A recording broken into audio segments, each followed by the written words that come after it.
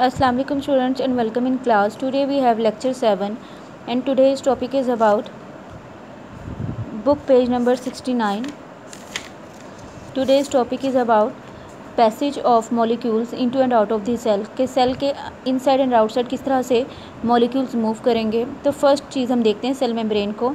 Cell membrane is known as semi permeable membrane semi mean few like semi cell को semi permeable membrane इसलिए कहते हैं कि ये कुछ सब्सटांसिस को पास आउट होने देगी, पास इन करने देगी और कुछ को नहीं।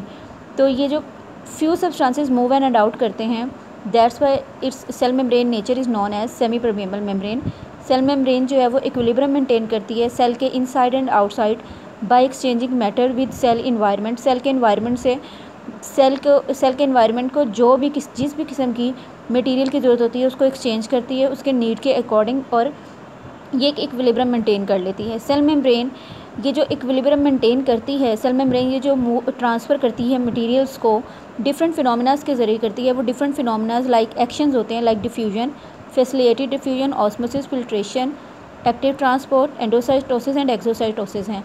इन डिफरेंट प्रोसीजर्स के ज़रिए सेल मेम्ब्रेन डिफरेंट मटेरियल्स को मूव इन एंड आउट करवाएगी।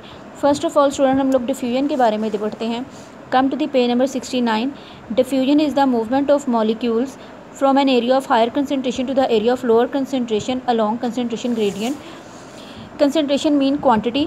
Molecules की हायर क्वांटिटी वाली जगह से लोअर क्वांटिटी वाली जगह जगह की तरफ़ मूव करना is known as diffusion dear students remember one thing diffusion is one principle method of movement substances ये एक सबसे अहम मेथड है सब्सटेंसेस के मूव करने का within cell as well as across cell membrane cell membrane के अक्रॉस भी और इनसाइड भी. Carbon dioxide glucose and oxygen can cross cell membrane by diffusion carbon dioxide glucose and oxygen इसी procedure के ज़रिए मूव करते हैं।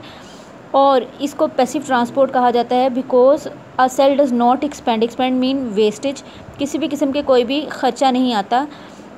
एनर्जी का फैसिलिटेटेड डिफ्यूजन को आप लोग देखें फैसिलिटेटेड डिफ्यूजन ऐसी डिफ्यूजन है जिसमें ट्रांसपोर्टेशन के लिए मॉलिक्यूल्स की मूवमेंट के लिए ट्रांसपोर्ट प्रोटीन की ज़रूरत पड़ती है। तो डियर स्टूडेंट्स आप लोग आज लर्न करेंगे सेल में semi permeable membrane diffusion and facility diffusion till the next